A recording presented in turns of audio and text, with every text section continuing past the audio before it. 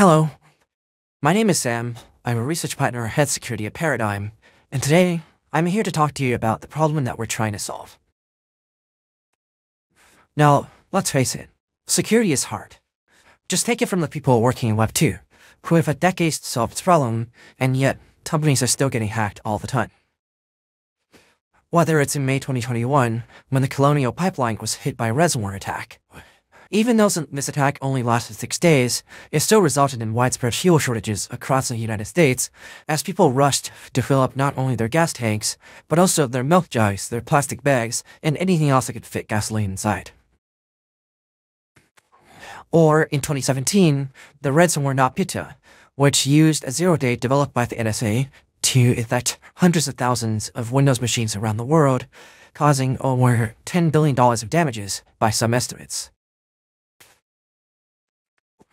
And of course, how could we forget in January of 2022, when Okta was hit by a threat actor who managed to gain super user access into all their systems.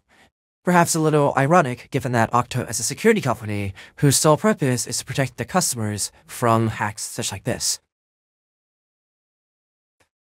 But given all this, maybe it's not as disappointing that Web3 is no exception whether it's the Vyper Zero Day, which allowed several Curve pools to be trained, causing over $70 million in damages,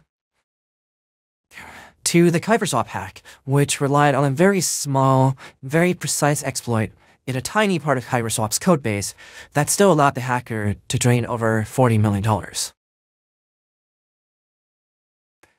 And of course, we can't forget about the individual users who are getting scammed by drainer sites every day through phishing links posted on Twitter and other social media platforms. Some of these users might only lose hundreds to thousands of dollars, but some of these users lose hundreds of thousands of dollars, and sometimes even millions at a time. Collectively, these victims have lost hundreds of millions of dollars, resulting in huge profits for these drainers. This is a disaster and it's why I decided to found the Security Alliance. The Security Alliance is made up of individuals as well as organizations, including your favorite auditors, such as Sigma Prime, OpenZeppelin, Trail of Bits, and Zellic, your favorite bug bounty platforms, like Immunefi, HackerOne, and Bugcrowd, your favorite wallets, like MetaMask and Phantom, as well as my co-presenters today, such as Chain Patrol, WalletGuard, Blockaid, Blowfish, Hexagate, and Hypernative. The idea behind the Security Alliance is simple. Let's develop the common sense solutions that we need in order to solve the obvious problems facing the crypto community today. For example, I want to go back to the Vyper Zero Day. This is interesting because a lot of different white hats, researchers, and auditors were notified about this exploit at the same time. However, they all found out in their own ways, and so not many people knew that others were working on the problem. As a result, many people ended up working on the same problems at the same time, resulting in a lot of duplicated work. Afterwards, we eventually merged into larger and larger war rooms, where eventually everyone was collaborating together. But in the end, we all asked ourselves, what can we do in the future to make sure that this sort of inefficiency doesn't happen again? I also have a bit of a personal problem. I love helping people with security questions and security incidents. However, sometimes there's just too many things for me to respond to. And so I lose track of things, I forget to respond, and if I do remember, oftentimes I might need to refer people to another security researcher who's equally as competent, equally as capable of helping, but maybe just weren't as famous. Ideally, how, some, how much someone is able to help shouldn't be a factor of how famous they are. And so one question I had personally is how do I make it so that more people knew about all the people out there who are able to help and can get in touch with them quickly? Finally, I want to introduce you to the ETH Security Telegram group chat. If you're not aware of what this is, it's a public group chat where anyone can join and talk about security in Ethereum. Originally, the group chat used to be a very small, exclusive club with only 50 to 100 people. This meant that if someone needed to get in touch with the protocol to report a bug, they could just say something like, hey, does anyone have a contact at some protocol? And, however, Now the group is public, and there's over 3,000 people, and it's really not safe to be asked for contacts anymore, because there's at least one or two black hats in the room just waiting to see what the next protocol they should target is. However, this begs the question, if ETH Security isn't the place to ask for security contacts anymore, then where is? To solve all these problems, we created Seal 911 which is a globally available, publicly accessible, and free help desk that anyone can ping at any time if they need to get in touch with a very small group of trusted security researchers. The usage is really simple. You just message the, the Telegram bot, the messages go to a group that we're all in, and whenever we have the time, we'll, we'll respond to it, whether helping you resolve the issue directly or forwarding it to someone who can. Through Seal 911, we've helped resolve a lot of different issues, from helping people report bugs to protocols, helping projects with their war rooms, and even sometimes front-running hacks ourselves. Overall, I say Seal 911 has been a big success. Speaking of war rooms, I wanted to share a little personal anecdote. As a white hat, I get invited to a lot of different war rooms. And most of the time, when I'm in these war rooms, I'm the person that people in that war room are looking to for advice on what to do. Now, this makes sense, and I'm not by any means blaming the developers and other participants. That war room is probably the first time, and I was directly responsible for potentially recovering or losing 7 to 9 figures of TVL. I would also be pretty nervous and looking to someone else for guidance. However, just generally speaking, the situation isn't particularly scalable, as there's only so many white hats and so many security researchers, and not enough of them to go around if they wanted to assist in every single room. Therefore, the question I ask myself is, what can I do to make it so that everyone, not just the white hats, know how to respond in the such case of an incident? The answer to that is Seal War Games, and the idea is really simple. If the reset white hats know how to respond to war rooms, it's because they've been in so many, then let's give people the experience they need by putting them into a simulated war room where the stakes aren't as high. A SEAL war game consists of two phases. The first phase is reconnaissance, where we, we conduct a tabletop exercise with protocol. You can think of a tabletop exercise like a security-based RPG game, where we, as the attackers, ask the protocol hypothetically, what would you do if we were to attack this system? What would you do if we were to then follow up with this action? How are you prepared to mitigate these incidents? Based on the responses, we get a good idea of where the protocol team is strong and where the protocol team is weak, and what systems are most likely to be compromised.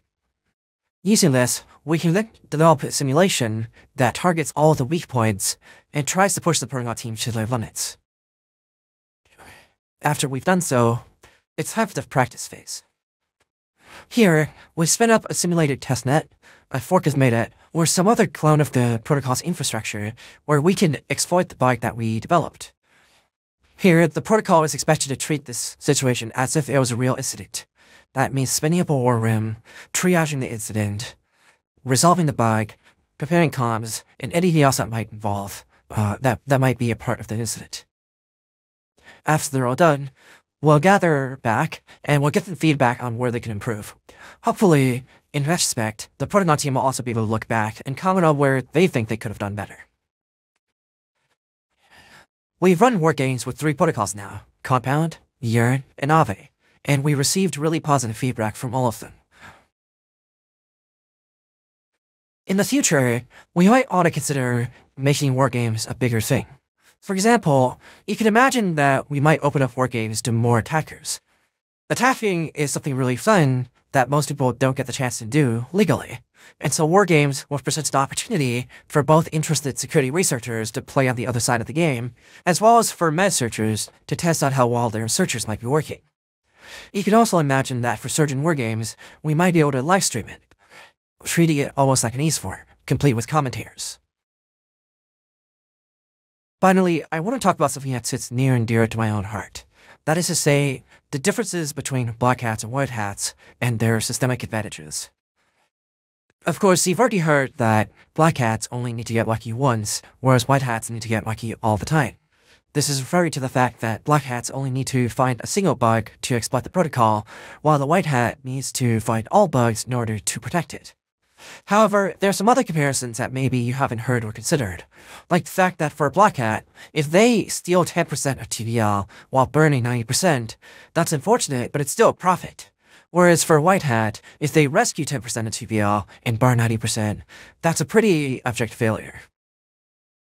Additionally, by definition, black hats typically don't care about things like the law and are the things I'm doing authorized, whereas black whereas white hats do need to consider that. All that to say, if black hats have so many advantages, why can't we give the white hats some too? And it was through this line of thinking that we developed the White Hat Safe Harbor Agreement, which is a 45-page legal document designed to give white hats the protection they need to feel comfortable in performing rescues and implementing hacks that otherwise would devastate a protocol. The way it works is simple. If a white hat attests to being a white hat and has the sufficient knowledge to perform a rescue, it also observes that an exploit is currently active, that is to say, the knowledge about the exploit is in the public domain, anyone can see it and perform the same exploit, then the protocol that executes the agreement gives white hats authorization to front run that hack, in essence, exploiting the protocol themselves, so long as it return the funds to a designated location known as the asset recovery address.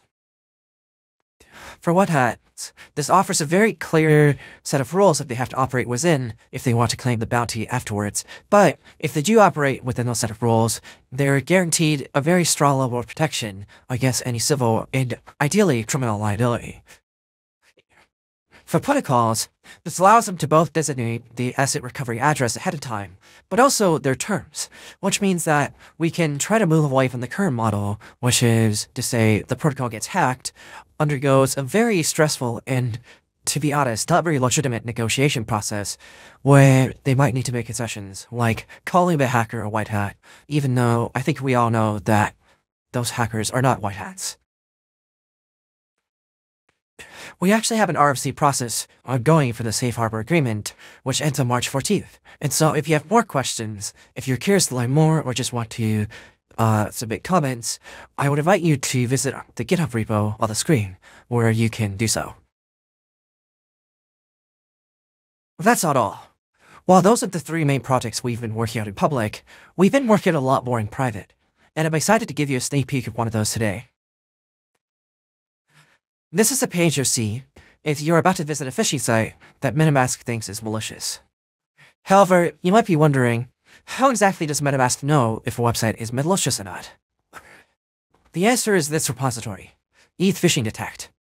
This repository is maintained by MetaMask, and users all around the world can submit pull requests to it to update the list of known phishing domains.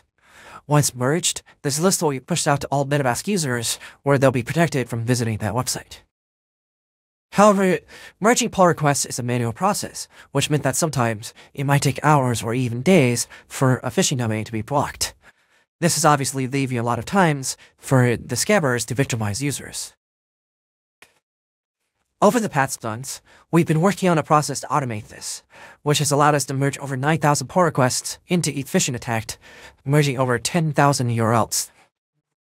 In fact, we've merged so many pull requests that GitHub can no longer render the profile page for the bot, which I think is pretty cool. If you also think that's pretty cool, and want to help out with this or any of the other projects that I've discussed about, or just want to help out in general, you should reach out to me on Telegram or email, and we can talk more about how you can get involved with the Security Alliance.